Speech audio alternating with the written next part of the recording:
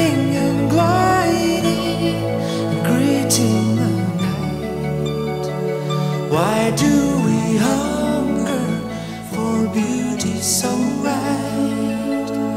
Why do we hunger for beauty?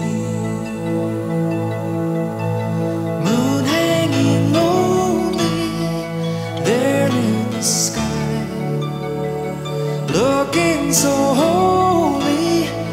host up high, and off in the distance there's a train going by. Why does it move us and cause us to sigh? Why do